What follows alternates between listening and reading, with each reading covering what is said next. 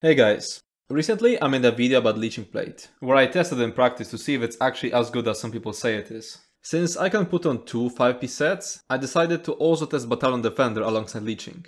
And this video is going to be about this set.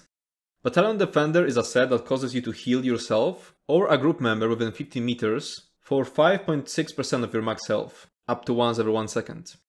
And here's the thing, with Leeching Plate, arguing against it was easier because I knew why people thought it was strong. A lot of people liked it just for the talking shield. Some people liked it because it allowed you to AFK, which is a weird argument to me, but a lot of people under the previous video and Reddit comment said that. Also, there was a fact of comments from people thinking Leeching Plate is good in the Infinite Archive, and uh, it's garbage, but I don't have the patience for arguing about it with people anymore. I'll just focus on covering more PvE tanking stuff. Just look at this Reddit comment from Lucht which explains why it's bad. Some people wrongly thought that leeching would reliably proc their combustion passive, which was not the case because of leeching being an AoE dot with 1% base chance to proc poisoned.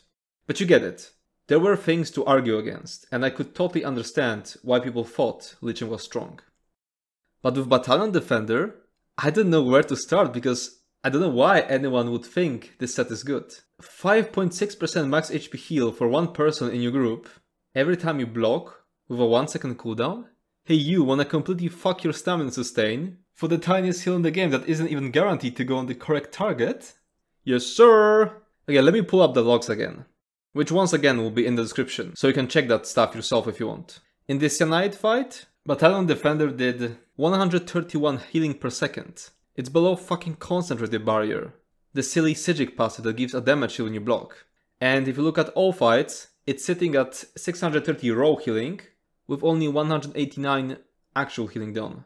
And don't even get me started on what blocking every second is going to do to your stamina sustain. You better pull up with 3 block cost reduction enchants and full sturdy gear, if you want to even consider using Battalion Defender. Anyways, that's it for this video. There's just nothing to really talk about when it comes to Battalion Defender, as opposed to Leeching Plate. Nothing to argue against. This set just does fuck all healing, kills your stamina sustain, and that's it. I just wanted to make this video so that it maybe pops up when some poor soul searches for this awful set. See ya.